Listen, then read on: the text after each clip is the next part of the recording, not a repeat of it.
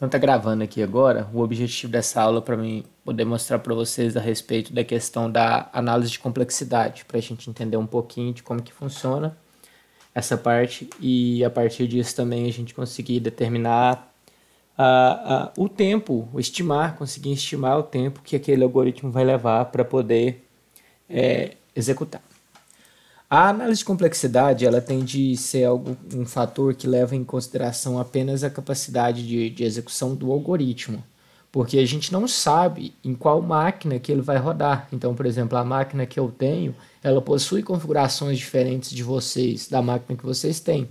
Então, é impossível eu falar que vai rodar em tantos segundos, é, porque a gente não sabe qual que é o nível de processamento, quantidade de memória que a sua máquina tem disponível e assim por diante mas é possível a gente conseguir estimar a quantidade de clocks que vão ser necessários para executar aquele determinado algoritmo.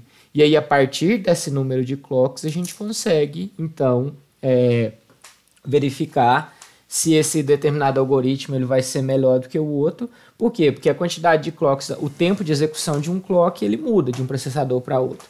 Mas se você gasta mil clocks no mesmo computador e no outro algoritmo você gasta 500 clocks apenas para fazer essa execução, obviamente você tem um melhora de desempenho muito grande. E a análise de complexidade ela era muito utilizada antigamente quando a gente tinha processadores que tinham apenas um, uma thread, né? então era bastante preciso. Hoje em dia ainda existem alguns tipos de algoritmos que eles são montados para pegar e aproveitar a capacidade que alguns computadores têm de executar mais de uma thread ao mesmo tempo. Então, quando vocês estudam lá na arquitetura de computadores lá, que é falado que um processador, por exemplo, consegue executar quatro threads ou oito threads, ou então ele tem quatro núcleos, mas cada núcleo executa duas threads, quer dizer que se essas, se essas execuções, ou seja, se essas tarefas não forem tarefas de, de alta complexidade, porque cada processador lá tem seu conjunto de instruções, né? Então, se essas tarefas não forem tarefas de alta complexidade para aquele processador, ele consegue vir e executar mais de uma tarefa ao mesmo tempo em paralelo. Então, se você planejar seu algoritmo, mas aí você já está planejando seu algoritmo para pegar um determinado tipo de computador. Nesse caso, você está estimando a complexidade dele, mas baseado em, em hardware que você já tem conhecimento que vai ser executado. Quando a gente não tem esse conhecimento, ou seja, nesse caso gera, genérico aqui da, da, da estrutura, de estruturas de dados, a gente não tem conhecimento de exatamente qual vai ser o tipo de hardware que vai executar. Então a gente não consegue ter esse tipo de aproveitamento. Os próprios computadores e os, e os processadores já fazem isso automaticamente. Mas para a gente poder ter essa estimativa de tempo de execução, a gente utiliza a análise matemática, que ela é, é análise de complexidade, que ela é puramente matemática, não leva em consideração nenhum outro recurso de hardware, para a gente conseguir determinar é, o quão bom é um algoritmo se ele fosse executado sem nenhuma condição de, de aprimoramento em, em nível de hardware, ou seja, é, é levando em consideração apenas o nível de software qual que seria o tempo médio de execução desse algoritmo. É importante que ressaltar também que a maioria das vezes quando a gente for fazer análise de complexidade, a gente não vai fazer uma análise de complexidade 100% fiel, a gente vai conseguir dar uma estimativa, que a gente chama de, na, na, na, na teoria da, da análise de complexidade, de limite superior. Ou seja, o que é um limite superior? Se vocês imaginarem lá em um gráfico, quer ver, deixa eu abrir minha ferramenta aqui de desenho aqui, se vocês imaginarem um gráfico aqui, vamos supor que esse aqui seja o tempo de execução de um algoritmo. Esse tempo de execução ele vai é, ser diferenciado é, e modificando. Se a gente pegar aqui num gráfico aqui, ele vai ser uh, diretamente relacionado na maioria das vezes por duas coisas. Aqui a gente tem uma escala de tempo e aqui a gente tem uma escala de entrada, ou seja, do volume de dados. Então, por exemplo, se a gente for imaginar na questão do do, dos próprios vetores. É bem fácil a gente de, de, deduzir que se eu quero imprimir um vetor de 5 elementos, é muito mais rápido do que eu imprimir um, um vetor de 500 elementos, que por sua vez é muito mais rápido do que eu imprimir um vetor de 1 milhão de elementos. Então, é, são duas variáveis principais que podem afetar o, o que, que vai modificar o nosso, ele, nosso análise de algoritmo, que é o tempo e a entrada. Ou seja, à medida que a entrada vai aumentando, a tendência é que o tempo de execução do nosso algoritmo também vai aumentando. E cada um desses algoritmos ele vai ter uma função que vai representar essa, esse escalonamento aqui, como que vai, esse gráfico vai andar. E aí, como a gente não consegue precisar 100% qual que é o, a, essa função aqui, o que a gente determina nada mais é do que um limite superior. O que é, que é esse limite superior? Ele quer dizer o seguinte, que pode até que a minha função ela não seja 100% precisa nesse valor aqui, mas ele nunca vai ultrapassar esse limite. É como se a gente pegasse aqui e determinasse, ó, esse aqui é o pico da minha função. Pode até que ele seja um pouco maior, mas a minha função nunca vai ser, no pior caso, vai ser pior do que isso daqui. Então a gente tem a definição desse limite superior aqui, que serve justamente para a gente poder estimar qual que é o tempo de execução do nosso algoritmo. Mas essa primeira aqui eu quero mostrar para vocês como que a gente faz a análise de complexidade passo a passo, toda completa, e aí depois a gente vai pegando e vai analisando é, uma forma de fazer ela mais resumida e mais objetiva. É, eu vou printar esse código aqui, que eu vou trabalhar com ele aqui no Paint, vai ser melhor para a gente ver.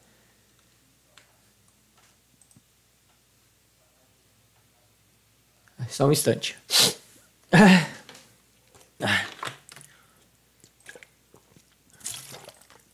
Meu code blocks também eu vou botar aqui para rodar aqui enquanto isso. Só pra gente não perder mais tempo do que o que eu já perdi aqui, né? Então, beleza.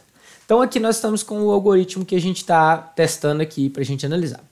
Se vocês forem imaginar, lá no conjunto de instruções de, dos processadores lá, as instruções mais básicas de processador que a gente tem, se a gente for derivar aí que computador vem de máquina de computar, ou seja, de calcular valores, a gente tem as instruções que são as instruções mais simples. São as instruções de operações aritméticas, de soma e subtração, e operações de atribuição de valores de memória, ou seja, atribuição dos valores lá nos registradores. Por que, que essas operações são simples? Porque quando a gente faz, por exemplo, um incremento, ou igual aqui, tá aqui um decremento em 1, o que a gente está fazendo é apenas fazendo a redução do último bit. Então é uma operação extremamente simples. Se vocês for pensarem lá, lembrando do binário, quando a gente faz o incremento, a gente está colocando, trocando o nosso último bit, aumentando em 1. Quando a gente faz um decremento, a gente está diminuindo em 1. Quando a gente faz uma operação matemática também, o que a gente está fazendo é somando ou subtraindo os valores. Então são, também são operações que não têm muito nível de complexidade se a gente for levar em consideração para o computador. É, além disso, existem outras operações que são bem simples. Por exemplo, atribuição de valores, igual essa daqui. Também é uma operação simples, porque o que, que você está fazendo? Você está pegando essa cadeia de bits que foi determinada aqui, no caso um zero, você está atribuindo naquele endereço de memória que tem aqui a referência para essa variável. Então vocês sabem que toda variável tem um endereço de memória, que se a gente quiser acessar ele, a gente usa lá o e-comercial antes. Então o que eu estou fazendo é apenas pegando esse valor e colocando lá dentro do endereçamento de memória. Então essas operações são operações extremamente simples que o nosso processador consegue fazer. Então ele gasta apenas um clock para fazer esse nível de operação, seja atribuição, seja a comparação, seja a incremento, soma, subtração, são operações de nível mais simples que gastam apenas um clock. O que, que, são operações complexas? Se vocês forem pensar lá, operações de multiplicação de valores que não são de base 2, elas são altamente complexas. Quando você está multiplicando por um valor da base 2, ela é mais simples. É, quando você está fazendo... E como que um processador sabe que, uma, é, que eu estou fazendo a multiplicação no base 2? Se vocês lembrarem, um base 2 ele sempre vai ter por característica de ter apenas o primeiro bit. Isso aqui é o 2 em binário, isso aqui já vai ser o 4. Aí se a gente pegar o próximo, que é o 1000, já vai ser o 8. Então, quando ele tem uma multiplicação por um valor desse, ele sabe que é simples de se fazer. Quando ele tem uma multiplicação por um valor que não está na base 2, ela é uma operação mais complexa. Porque essa aqui basta ele fazer esse escalonamento de bits. Mas isso aqui eu estou entrando em muito detalhe que é desnecessário aqui para nossa aula. O que a gente precisa pensar é do seguinte, que quando a gente faz essas operações aqui de soma, subtração, atribuição de valores e comparação, a gente está fazendo operações que gastam apenas um clock. Então a gente pode determinar aqui que cada uma dessas operações ela vai gastar um C, que eu vou chamar aqui a variável de C. Então, para mim poder fazer essa operação aqui, eu gasto um C, um clock. Não sei quanto que esse clock representa a nível do meu hardware, mas eu sei que ela gasta um clock. Essa operação, ela gasta um clock. Essa operação gasta um clock. Essa operação gasta um clock e assim por diante. Então, cada operação que a gente tem, ela vai ser gastar um clock do meu processamento. Isso me, me agiliza, por quê? Porque a gente consegue padronizar a nossa complexidade da seguinte maneira.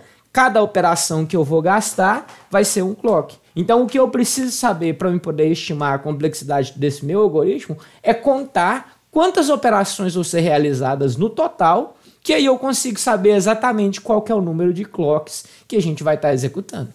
Então, se eu souber, se eu sei que todas essas operações são operações de complexidade simples, que elas gastam um clock, basta eu vir aqui e contabilizar quantas vezes essas operações vão ser executadas.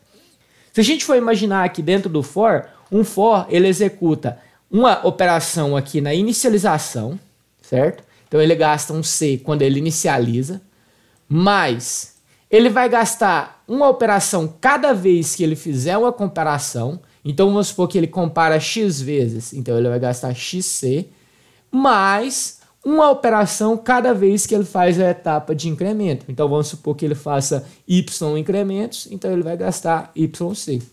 Então, todo for ele vai gastar essa complexidade, sempre vai ter essa característica.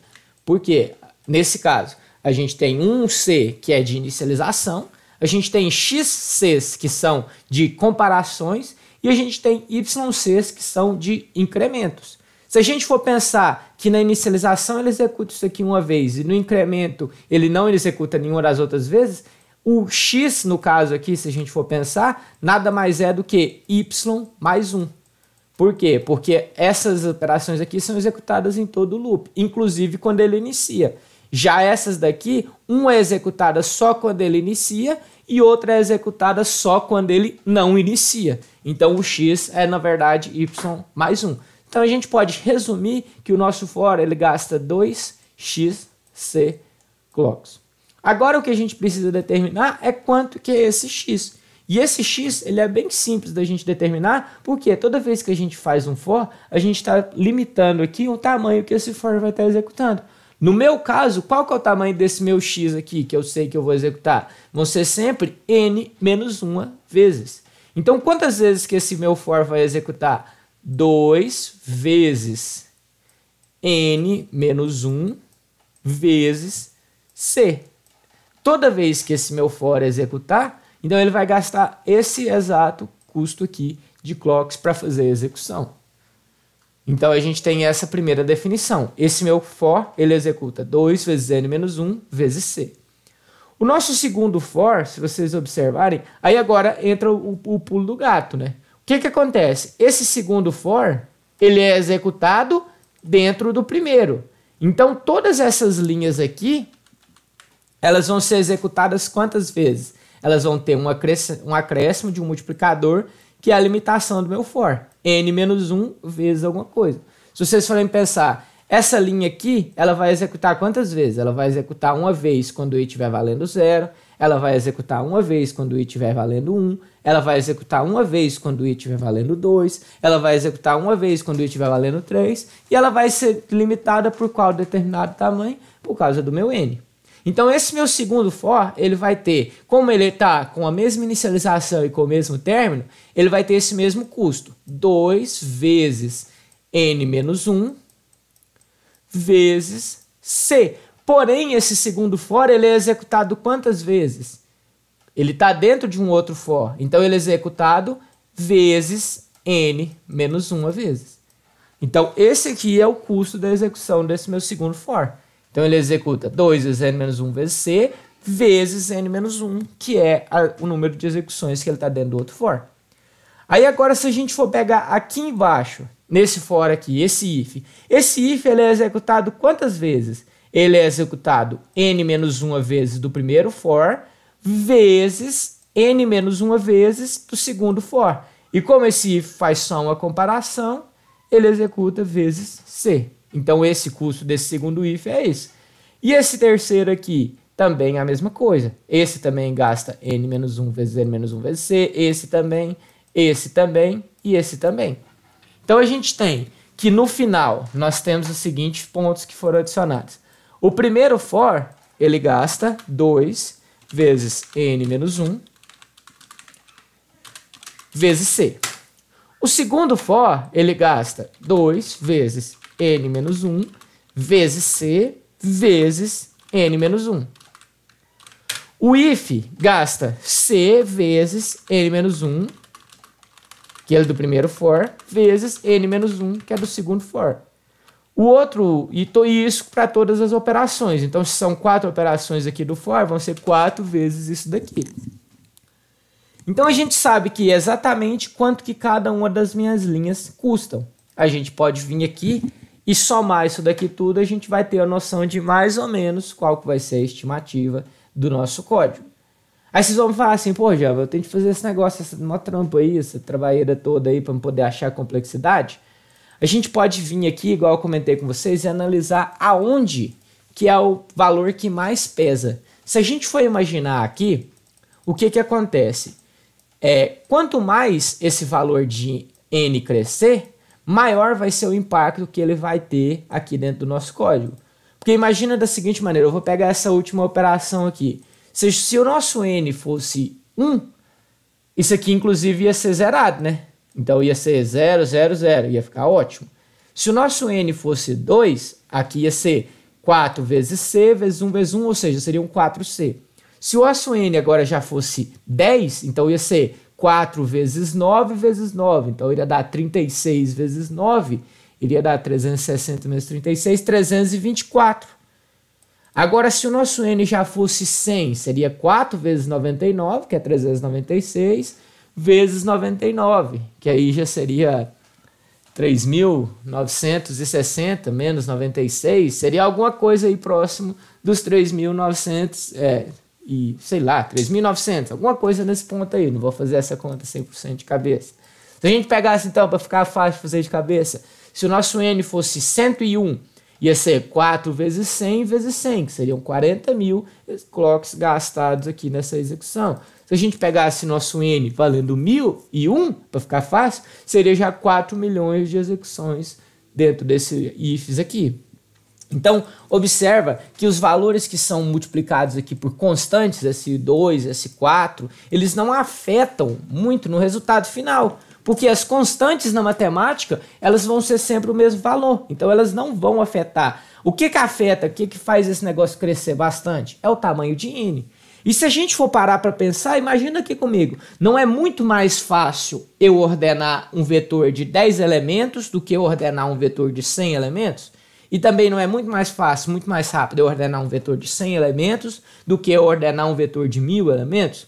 Então o que, que acontece? O que, que faz um algoritmo de ordenação demorar? Quanto maior a quantidade de elementos, pior vai ser a sua execução. E aí, é, a partir disso, a gente consegue ver se n é o número de elementos, a gente tem que, em média, a gente pode vir aqui e ignorar todas essas constantes. Se a gente fosse fazer isso aqui, imaginando, eu vou esquecer esse n menos 1, vou substituir aqui tudo por n só para facilitar os nossos cálculos aqui. Imagina que isso aqui fosse a nossa função. Seria 2nc mais 2nc ao quadrado. Como é que eu vou fazer o quadrado nesse negócio aqui? Isso. Mais 4n. Na verdade, não é o c ao quadrado. 2n ao quadrado mais 4n ao quadrado c. Se a gente pegasse e ignorasse aí os valores lá das constantes. Do, do, do n menos 1. E aí agora a gente vai analisar. Bom, eu não preciso contabilizar as minhas constantes, porque como a gente viu, elas não afetam a implicação no resultado final. Então vou vir aqui e vou ignorar essas minhas constantes. No final, se a gente analisar o que, que é a pior, o pior caso aqui que a gente tem, ou seja, o pior nível que a gente tem aqui dentro para ser analisado, é esse n ao quadrado.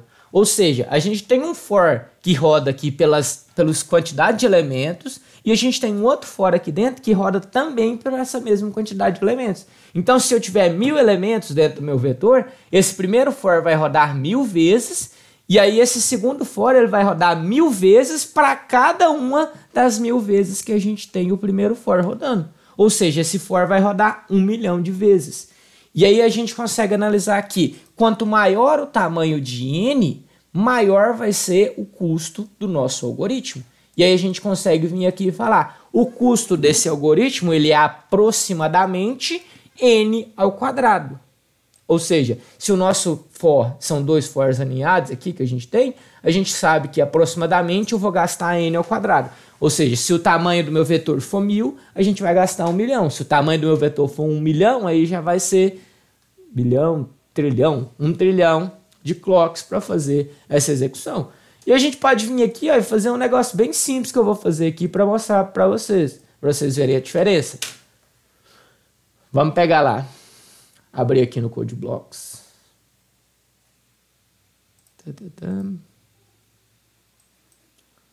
Ok. Está o Code Blocks.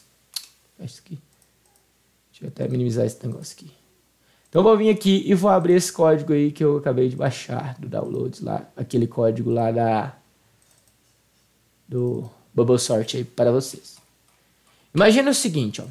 Ao invés de fazer esse vetor aqui, eu vou vir e vou criar um vetor aqui do tamanho de mil posições. Então, eu sei que o meu n, eu vou vir aqui e vou declarar meu n vale mil. Vou criar um vetor de tamanho n. Eu vou trocar aqui meus imprimir e tal. E aí eu vou vir aqui, antes disso, eu vou criar uma funçãozinha aqui que vai gerar ele aleatório aqui para mim. Na verdade, nem precisa ser aleatório, eu vou gerar ele de trás para frente, ou seja, o primeiro elemento vai ser, se ele é de mil posições, então o primeiro elemento vai ser mil, o segundo 999, e assim por diante. Então eu vou vir aqui, ó, gerar vetor. Aqui ao invés de ser mil agora eu vou colocar o meu n. Que aí se eu mudei aqui ele já muda tudo. Então eu vou vir aqui, void gerar vetor. Tem o meu v aqui e aqui o meu n. Então imagine o seguinte, eu vou vir aqui, vou rodar um i, começa em zero, e um j vai começar em mil. Eu vou rodar com até que o i seja menor do que n, e aí o i eu vou incrementar e o j eu vou decrementar. E eu vou falar que vetor na posição i é igual ao j. Só isso que eu vou fazer. Então, eu vou começar aqui gerando meu vetor. Vou até gerar aqui um vetor menor, vou pôr um de 50 posições aqui para a gente ver o que, é que acontece. Eu não chamei gerar. Ah, é, faltou um ponto e vírgula aqui. Vamos lá, compilou. Então, olha lá. Eu comecei ele em mil, eu quero que ele comece em n, na verdade. Então, olha lá, ele gerou um vetor de trás para frente e foi aqui e ordenou para mim. Viu o tempo de execução? Aqui, ó, menos de um minuto para gerar, imprimir a primeira vez, ordenar e imprimir de novo. Vamos aumentar isso aqui para 500 agora. Olha lá. Agora ele já demorou 670 segundos. Vamos aumentar para 5 mil. Opa, é que eu mandei executar e não compilar. Tá dando permission denied? Tá. Aí. Agora já demorou quase dois segundos. Vamos aumentar para 50 mil. Olha lá. Tá demorando muito até mesmo porque para imprimir é uma função lenta. Mas vocês podem ver que, olha, o tanto que ele demora para imprimir, ele ainda está imprimindo o vetor desordenado. Agora ele está ordenando. Vocês podem ver que já está bem mais lenta a ordenação. E agora que ele está imprimindo o vetor ordenado.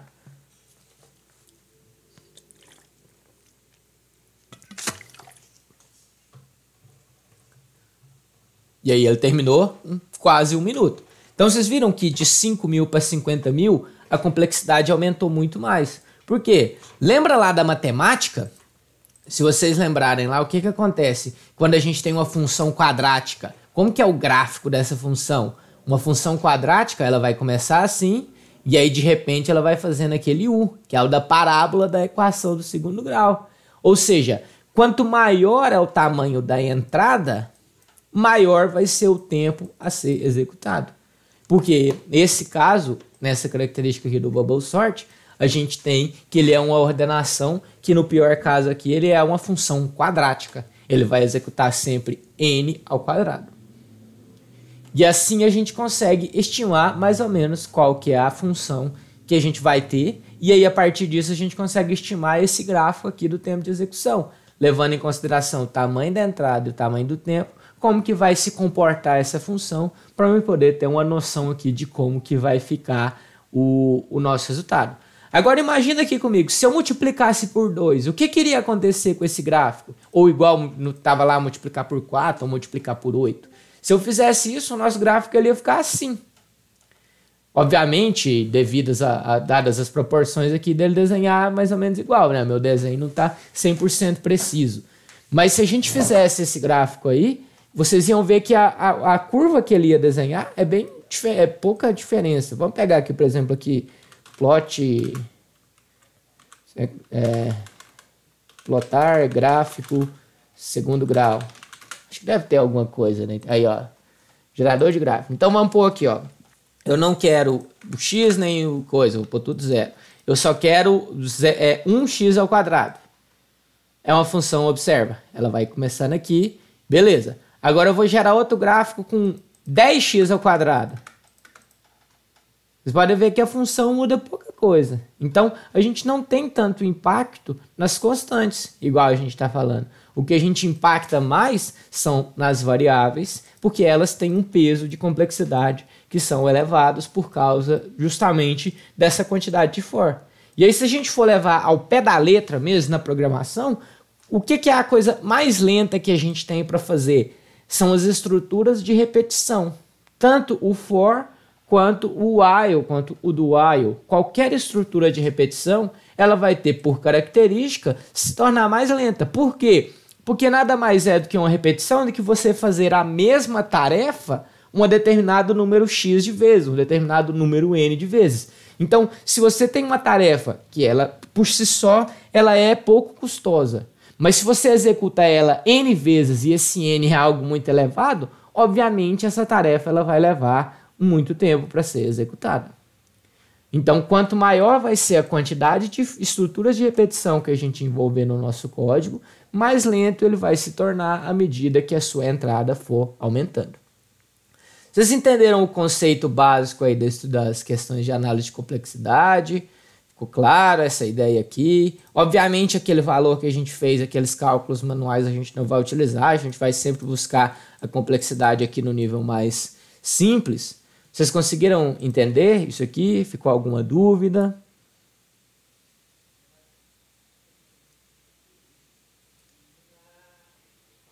Tranquilo? Restante do pessoal aí, tá ok também?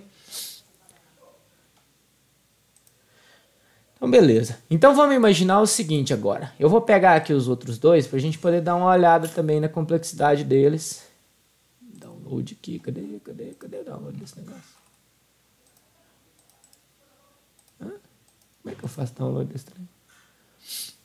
Ah, se eu não sei fazer download, eu vou copiar ele. Então aqui, se a gente for analisar o insert on sort, a gente tem um pouquinho diferente aqui também. Mas é, o nosso vetor aqui, vocês podem visualizar que o primeiro for aqui, ele também está controlado por n, ou seja, no mínimo ele vai ter n execuções. E aí se a gente for analisar o segundo for, ele tem duas condições, ele começa no próprio i e ele vai ter um segundo teste condicional. Mas pode acontecer, no pior caso do insert on sort, é o seguinte. Imagina que a gente está lá na última tarefa, na última execução do insert on sort, que eu estou aqui, por exemplo, já estou com todo o meu vetor ordenado, 2, 3, 4, 5. E eu vou ordenar a última posição, que é 1. Um. O que, que acontece nesse caso? Mesmo tendo aquela comparação anterior, se vocês forem vendo, ele vai fazer todas as trocas. Ou seja, no pior dos casos, esse segundo fora aqui também vai ser executado baseado em N. Então, apesar de ter uma função aqui que faz uma pequena otimização, o insert on sort, no seu pior caso, também tem complexidade n ao quadrado. E a mesma coisa acontece com o selection sort. Se vocês verificarem, ele ainda é mais simples, porque não tem nenhuma outra condição nem nada. Os dois for são baseados em n, então tanto o bubble sort quanto o insert on sort quanto o selection sort, eles têm a mesma complexidade que é n ao quadrado. Apesar disso, é, se você for pegar aqui e analisar bem aqui nesse caso daqui, a gente tem alguma pequena melhoria dentro do Insert and Sort. Então, dos três que foram apresentados até agora, o melhor algoritmo é o Insert and Sort. Mas, obviamente, eles vão funcionar legais apenas para vetores que tenham uma quantidade pequena de dados. E apenas voltando aqui no, no, nas funções aí, se vocês lembrarem lá, a gente tem várias funções do segundo, do primeiro, segundo grau e etc. Só para mim poder mostrar uma ideia aqui para vocês, a gente tem o seguinte: a, o melhor caso, o caso ótimo de algoritmo seria um algoritmo que tem tempo constante, que é a 1 aqui, a constante. Só que são raríssimos os algoritmos que têm essa característica quando a gente vai aumentando a, a tarefa. Então a gente tem algoritmo aqui que é o mais rápido, que é o constante. O segundo algoritmo mais rápido aqui que a gente tem é baseado em log de n. Vocês lembram o que é logaritmo, né? Logaritmo natural da base de n aí. Quando você pega, por exemplo, o logaritmo natural, nada mais é do que o inverso da potência. Então, o logaritmo, quando a gente fala logaritmo aqui da base, quando a gente está falando da computação, é geralmente da base 2. Então é log de n na base 2. Ou seja, se a gente for pegar lá 64, o logaritmo de 64, de, de 64 na base 2 seria 8, seria o inverso lá. Quanto que é? 2 elevado a quanto que dá esse valor aqui? Que dá esse n.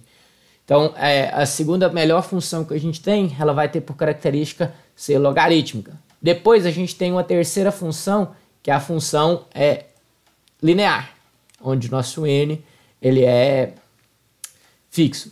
A gente tem um quarto tipo de função que vai ser a função n log de n, ou seja, ela vai ser logarítmica em uma, uma parte dela e é, linear em outra. Então a gente tem uma função n log de n, ela vai ser alguma coisa desse tipo. E aí depois vai começando a piorar alguns casos. Por exemplo, a gente tem a própria que a gente acabou de ver aí, que é a n ao quadrado. E aí depois a gente tem, pode ter funções que são tipo n ao cubo. Aí é pior ainda, nem, é n ao cubo. Opa. E aí tem um caso que ainda é pior ainda, que existem algumas funções que são extremamente lentas, que, têm, que elas têm por características serem, terem o n como sendo... É, é, ah, esqueci o nome agora. O, o expoente de uma potência. Essas funções aqui, esses algoritmos que têm por característica quando a gente faz eles terem 2 elevado a n, são algoritmos que vocês vão verificar que existem soluções interessantes trabalhando com inteligência artificial. É aqui que a inteligência artificial entra.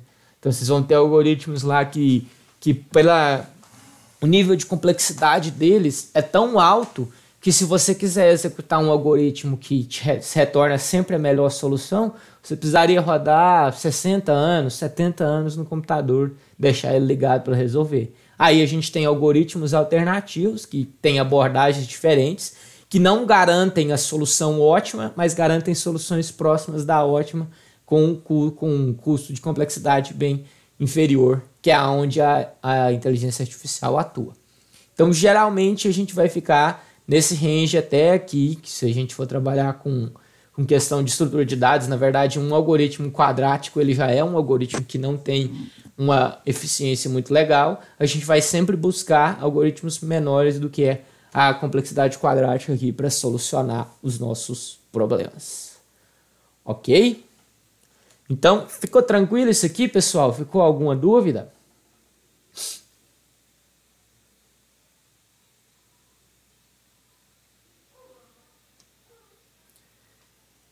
Se não tiver ficado nenhuma dúvida nessa questão da complexidade, a gente vai passar para frente.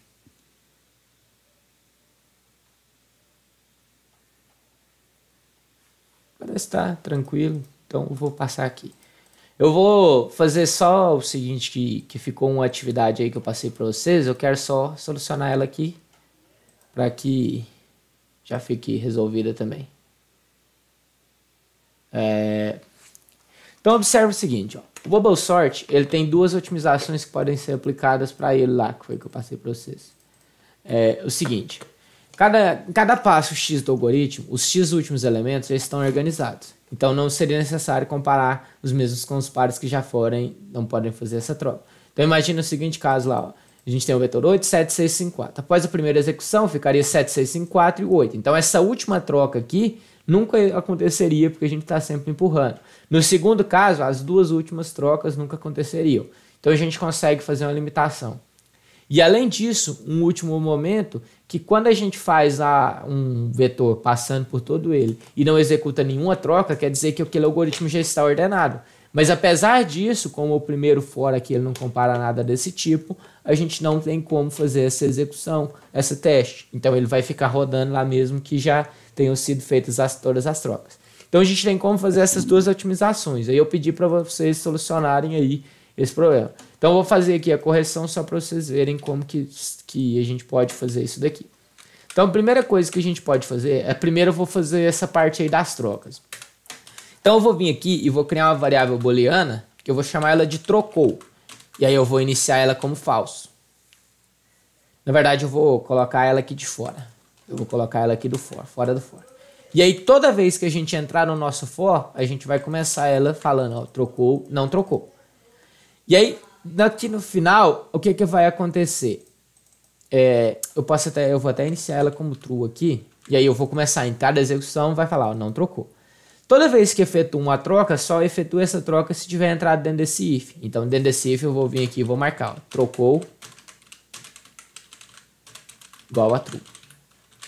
Então, eu comecei ela como true, mas quando eu entrei no for, eu comecei ela como false. E ela só vai ser variável, vai ser válida, quando eu tiver entrado aqui dentro, ela vai ser true. E aí o que que acontece? Eu só vou ter essa variável, então, terminou essa execução desse for, eu só vou ter essa variável como sendo true se tiver executado pelo menos uma das trocas. Então eu vou vir aqui e vou colocar, além dessa comparação do, C, do i ser menor do que n menos 1, eu vou garantir que ele também tenha realizado uma troca. Ou seja, i trocou. Então, para poder executar o meu primeiro for, além de ele ter tá dentro do limite do vetor, também tem de garantir que houve pelo menos uma troca. Para a gente garantir isso, só se entrou aqui dentro. Esse é o primeiro algoritmo, o primeiro caso. O segundo caso é que a gente pode, igual comentamos lá, reduzir o tamanho da, do, da nossa execução, fazendo os números de trocas reduzirem. Então o que que acontece? Eu vou vir aqui dentro desse segundo for e vou vir aqui e vou subtrair um valor que vai ser o determinado número de trocas. Na minha primeira execução, o meu i está valendo zero. E eu quero executar, se o meu n, por exemplo, vale 5, eu quero executar todas as minhas quatro trocas. Na segunda execução, o i já vale 1, mas aí eu só quero executar três trocas. Na terceira execução, o i vale 2, mas eu só quero executar duas trocas. Então eu posso vir aqui e reduzir pelo meu próprio i. Dessa forma, eu vou estar garantindo que no primeiro momento vai ser o n menos 1, ou seja, vão ser 4, menos 0, vai ser o próprio 4. No segundo momento vai ser n menos 1, que vai ser 4, mas o i vai estar valendo 1, então vai ser só as três só vai ser só até a posição 3. E assim por diante. Dessa forma, a gente vai sempre eliminar as i trocas possíveis, as últimas i trocas. Na primeira execução vai ser as últimas zero, na segunda execução vai ser as últimas umas, e na terceira execução nas últimas duas, e assim por diante até o final desse algoritmo. Porém, apesar disso, a gente ainda não consegue garantir a redução da complexidade, porque no pior caso, quando o vetor estiver todo desordenado, mesmo assim ele vai executar todas as trocas. Então a gente ainda tem, mesmo com essas correções, a gente ainda tem a complexidade do bubble sort sendo n ao quadrado. Porém, ele fica bem mais otimizado e bem melhor se ele for executado dessa maneira, tendo essas duas regras. Uma garantindo que houve pelo menos uma troca para que ele continue executando, e outra reduzindo o número de trocas sempre de acordo com as posições que já foram organizadas do nosso vetor. Ok? Entenderam essas duas mudanças aqui? Tranquilo?